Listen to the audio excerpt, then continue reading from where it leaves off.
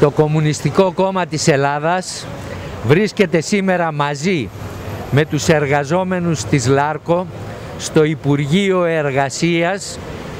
και στηρίζει την παράσταση διαμαρτυρίας, την καταγγελία των εργαζομένων ενάντια στην αντιλαϊκή πολιτική της κυβέρνησης της Νέας Δημοκρατίας που έχει σχεδιάσει να ιδιωτικοποιήσει τη ΛΑΡΚΟ. Υπάρχουν μεγάλες εγκληματικές ευθύνες από όλες τις κυβερνήσεις της Νέας Δημοκρατίας, του Πασόκ και του ΣΥΡΙΖΑ που άνοιξαν το δρόμο για την απαξίωση αυτής της στρατηγικής σημασίας επιχείρησης της ΛΑΡΚΟ μιας μεγάλης επιχείρησης παραγωγής νικελίου και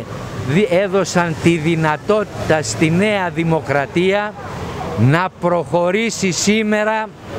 ενάντια στη θέληση των εργαζόμενων και των κατοίκων της περιοχής για την ιδιωτικοποίηση ή το κλείσιμο της ΛΑΡΚΟ, του εργοστασίου στη Λάριμνα και των μεταλλίων. Το Κομμουνιστικό Κόμμα της Ελλάδας στηρίζει αυτό το πολύμινο, τον ηρωικό αγώνα των εργατών και των εργατριών της ΛΑΡΚΟ απαιτεί να συνεχίσει η λειτουργία της επιχείρησης,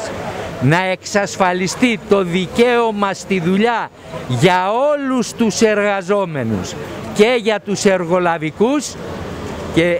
να κατοχυρωθούν τα εργασιακά και ασφαλιστικά δικαιώματα των εργαζομένων. Απαιτήσαμε από τον κύριο Χατζηδάκη συνάντηση με την αντιπροσωπεία των σωματείων της ΛΑΡΚΟ και αναλαμβάνει για άλλη μια φορά μεγάλες ευθύνες για αυτή την απαράδεκτη στάση απέναντι στους χιλιάδες εργαζόμενους. Ο αγώνας συνεχίζεται με μεγαλύτερη αποφασιστικότητα.